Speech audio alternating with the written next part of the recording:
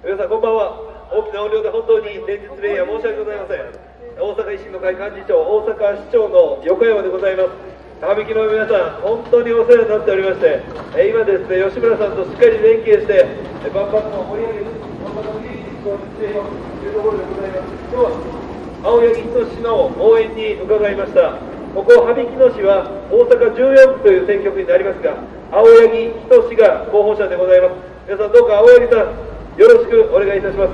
政策通で維新の政策を中心で取りまとめて前に進めているのが青柳仁さんです。青柳さんは維新政治塾の1期生でもあるのでこれまで維新が作られてからずっと中心で政策を描いてきた本当に中心的なメンバーです。青柳仁さん皆さんどうかよろしくお願い申し上げます。そして今回の衆議院選挙僕は腹が立ってしょうがない。これだけ国難みんなしんどい時に今給料が上がりません。でも物価どんどん上がってる。世界を見てみると各国もうどんどん給料上がってます。もう日本は選ばれない国になってきてる。でも今日本だけが給料上がらない。物価は上がるのに給料上がらない。もうずっとこの状態。それの反面税金や社会保険料だけはどんどん上がる。これが今の日本の状況です。この状況の中で国会議員だけがまあよろしいことに裏金作ってポッと流れしてた。これはねもう僕は国家の危機だと本当に確信しています。こんにちは。すいません。大阪市長の横山です。こんばんは。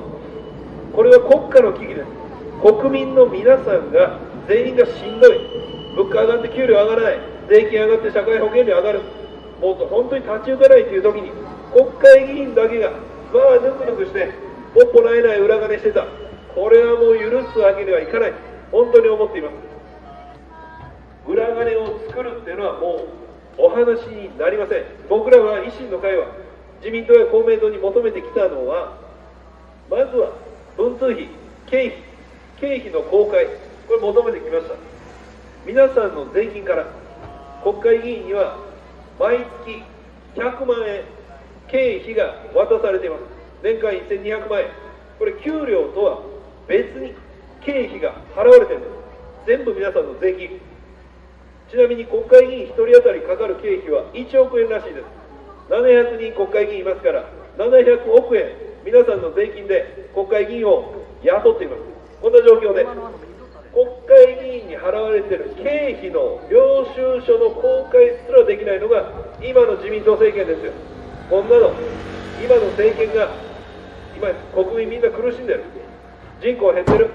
でも高齢者に社会保障制度改革ももしかしてお願いしないといけない。こんな時に改革から逃げ続けて裏金ポッポらえない。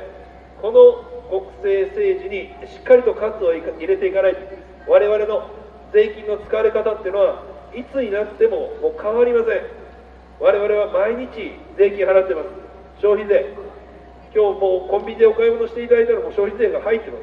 その消費税は4分の1が地方4分の3が国に行きます。その毎日払ってる税金毎日毎月毎年税金というのを払ってるんです。ありがとうございます。大阪市長の横山です。その税金の使われ方を決めるのがこの選挙です。裏金議員で。まあぬくぬく国会議員だけがいい目をする。そういう選挙そういう政治を選ぶのか。それとも真に国民に必要な行政サービスを拡充していくのかそれを選ぶのかこの重要な選挙青柳仁志をどうかお願いしたいと思います。皆さんちょっと思い出していただくとまあ大阪もそういう政治をやってましたよ。昔大阪市長の横山です。どうもこんばんは。昔は大阪もまあむちゃくちゃでした。あの自民党さんやね民主党さんや府議会でももう好き勝手やってましたよ。で大阪府議会議員の年収っていうのは大体維新ができる前は1500万円。で政務活動費っていうこれ経費が出てます。これ500万円。これ第二の給料と呼ばれてきました。これを領収書の公開もしてなかった。これが昔の政治です。大阪もそういう政治やってたんですでも橋本徹さんや松井一郎さんが誕生してそして徹底した改革を行いました。今では当たり前ですが地方議員我々大阪維新の会改革して政務活動費っていうのは領収書1円から公開しています。これは当たり前。でも昔はそんなことさえ大阪の政治でもできてなかったんです。だから我々維新の会という政党を皆さんが生んでいただいて改革を進めてきた。大阪では政治家がまずはそういう改革やりました。いや大阪借金まみれで立ち行かない。だったらまずは政治家が誰より腹くくって覚悟を決めて1円たりとも税金無駄にしないという思いで徹底した改革をやった。やったら何が起きたか。政治家の給料を削減しただけではなかなか行政サービスの皆さんお渡しする財源というのは出てこない。だけどまずは政治家が覚悟を決めて役所全体の予算をチェックしました。大阪府の予算は4兆円。これ羽曳野市じゃないですよ。大阪府だけで。予算4兆円。ちなみに大阪市の予算も4兆円。この中で住民の皆さんに直接サービスとして返っていない。税金の使われ方っていうのは山ほどあるんです。だからそれをしっかりチェックして非効率な税金の使い方していないか。というチェックをしました。そのチェックの過程においてはやっぱり抵抗勢力も出てきます。おいおい政治家ちょっと勝手にそういう改革しないでくれと。いう抵抗勢力ってこれ出てくる。出てきた時に政治家が覚悟を決めて僕たちは給料を削減してます。定数も削減して自分たちの首を切りました。覚悟を決めてます。だから改革で前に進ませてくださいという10年間の奇跡です。結果大阪は借金大きく減って財政指数も向上して今経済もいい流れができています。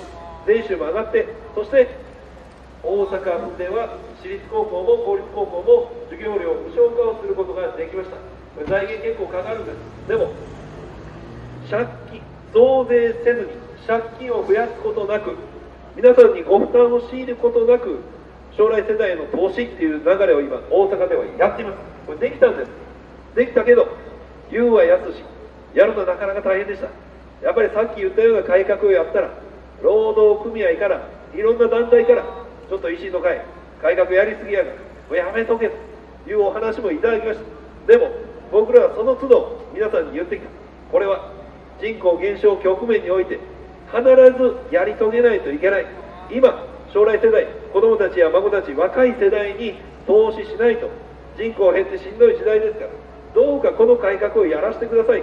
その代わり覚悟を決めて私大阪市長ですけど僕は給料4割削減しています。毎月4割削減してる。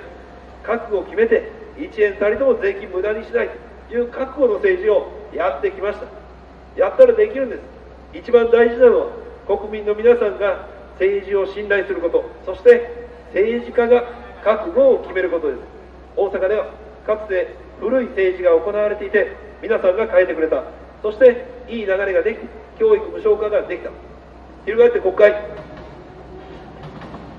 難しい問題から目をそらし続けて裏金作ってポッポないない。もう古い政治そのままですだからこそ皆さん日本維新の会と青柳仁の選択肢をお願いしたい。と思っています。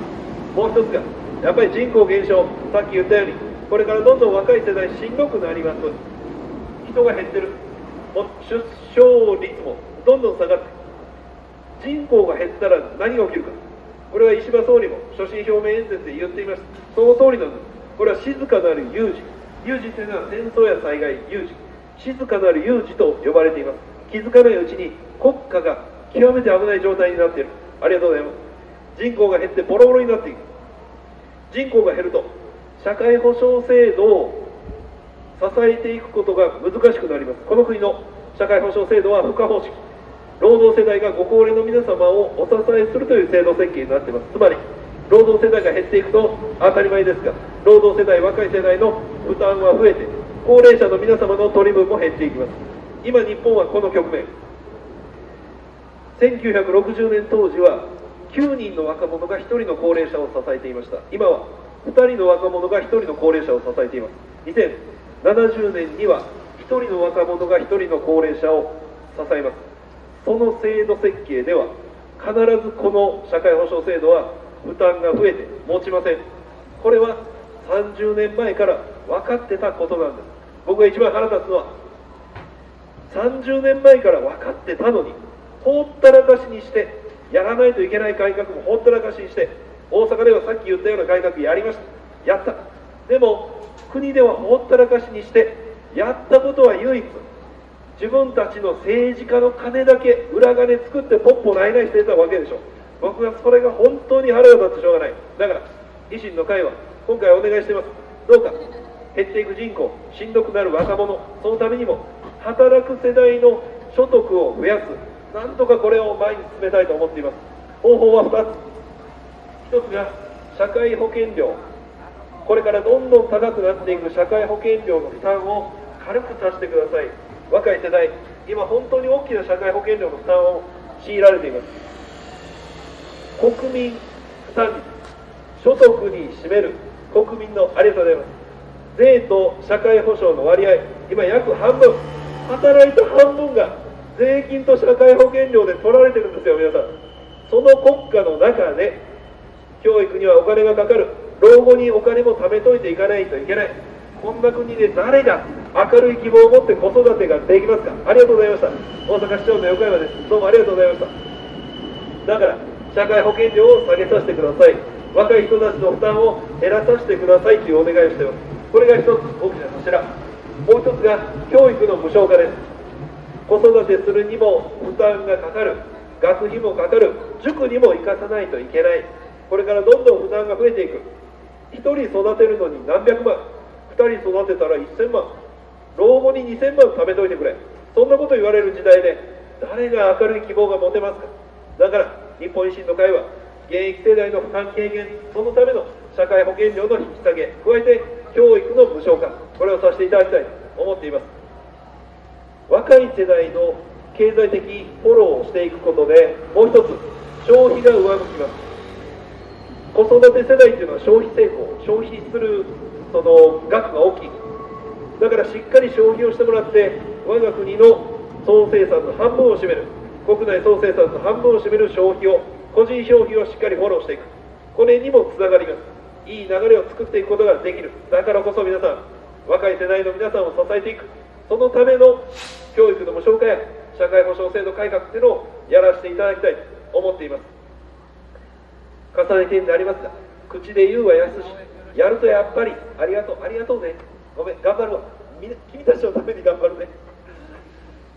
こういう改革をやっていくとやっぱりご批判もいただくかもしれません。どこかで誰かのご批判が一時増えてやっぱりお叱りを受けることもあるかもしれない。だけど今やらないといけない改革を僕らは自民党や公明党や今の政権のように逃げることはしません。それは政治の責任です。今やらなければいけないことをやる。これが政治の責任だと思ってるから僕らは提案します。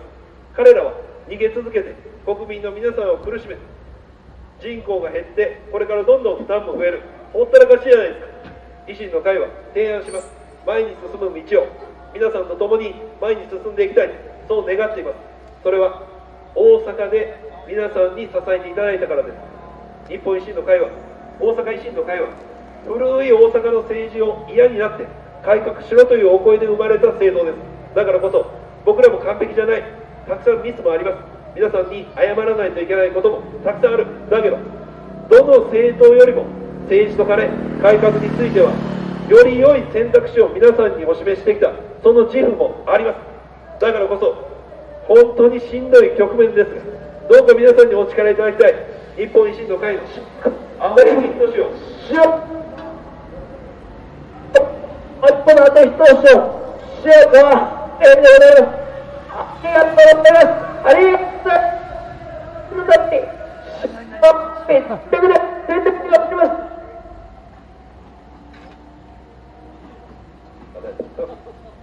ワイヤレスで音声拾いまして、青柳さんの解説者から、あごめんなさい。ね、あの候補、すいません、こういう改革をやらせていただきたいと思っています、それは本当にしんどい改革かもしれません、でも大阪では皆さんにお力いただいて、前に進めることができました、だからどうか今一度お力いただく思っています、すいません、こう共に頑張りましょう。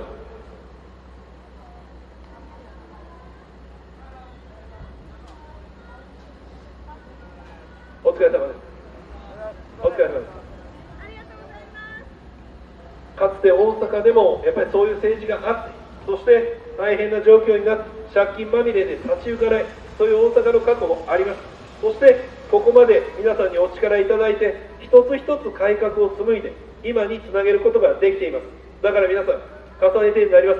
もう本当に長時間ここでお騒がせしました。いろんな街宣車がこれからまだ回ってくると思います。でも全ては将来の未来の子どもたちのためにどの政党が真剣に覚悟と決意を持って前に進めているのか皆さんにぜひチェックしていただきたいと思います。しっかりチェックしていただいた上で我々は胸を張って僕らは誰よりもどこの政党よりも前に向いた改革を示してきた。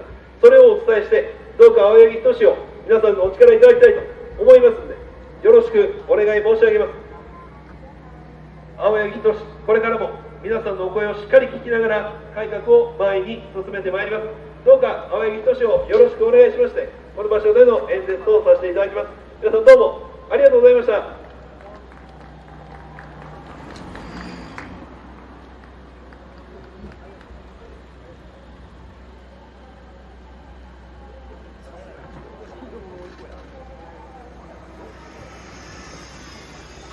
だいま応援演説を行っていただいたのは大阪維新の会幹事長である横山千幸幹事長でございました。え本当に厳しい厳しい選挙戦。え日本維新の会青柳仁青柳仁へと皆様の一票一票が頼りでございます。え次の日曜日10月27日がえ衆議院選挙投開票日となっております。